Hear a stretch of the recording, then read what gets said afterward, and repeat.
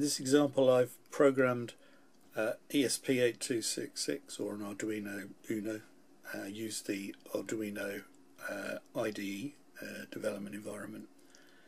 It's connected to the display. This is an Adafruit uh, 2.2 inch 320 by 240 pixel TFT display by SPI bus and I've created some software that emulates a analog meter and I've connected a, a potentiometer to the A0 pin here.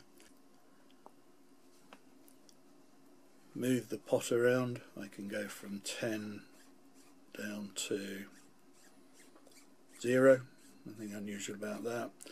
The input pin, analog input pin goes from 0 to 1023 and I've divided the result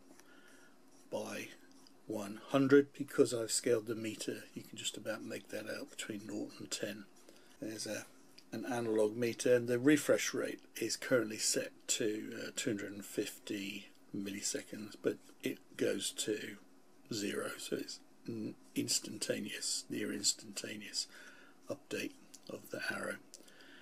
The little arrow pointer which you can just make out there I've drawn with some uh, uh, fairly short uh, Pythagoras uh, using the equation z squared equals x squared plus y squared and uh, there you have it that's an analog meter um, created under software and you can do lots of other things with that like uh, a peak reading meter needle with a decay under software that's a fairly short program. If you want the code, send me an email.